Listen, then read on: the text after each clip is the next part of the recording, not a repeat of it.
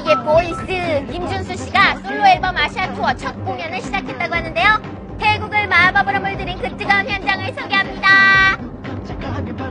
이미 발매 10일 만에 빌보드 메인 월드 앨범 차트 10위에 올랐던 김준수 씨의 솔로 데뷔 앨범. 방송 출연 없이 이루어낸 쾌거였는데요. 지난 27일 태국 방콕에서 열린 아시아 첫 투어. 김준수 씨는 지팡이를 들고 등장해 다양한 장르를 넘나들며 완벽한 여럿이서 노래하다가 솔로 앨범 내니까 아주 그냥 물 만난 고기처럼 실력 발휘했나 본데요. 마치 마법과 같은 퍼포먼스로 팬들을 사로잡은 김준수 씨.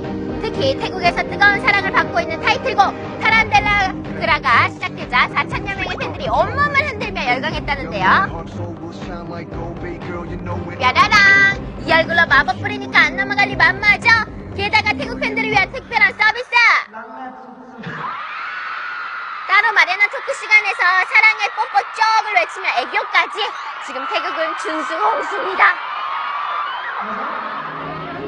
아시아 top class 실력을 유감없이 발휘한 준수씨 혼신을 다하는 완벽한 가창력이 예술이었다고 하는데요. 오는 6월에는 인도네시아 자카르타에서 그 열기를 이어나갈 예정이라고 하죠.